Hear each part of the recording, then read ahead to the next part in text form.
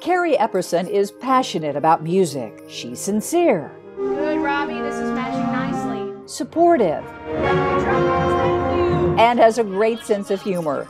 I was the water boy for Scholar Bowl. Weaving her life experiences into lessons, One and two. Carrie connects with her students. I give information, they give feedback. You get a lot of that working together thing that's that really is the reason why I love what I do. Students say Carrie makes them want to come to school. You want to be here. You don't like you, this is a class you don't want to miss because there's always something exciting going on, something new happening, something new to learn. Throughout the district, she's known as being an amazing director and a phenomenal person.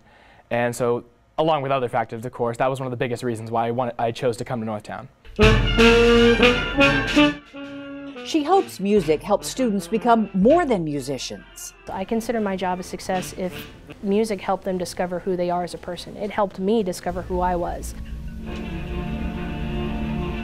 Carrie's welcoming attitude has nearly doubled the band's size in 10 years. This is a place where you belong no matter who you are.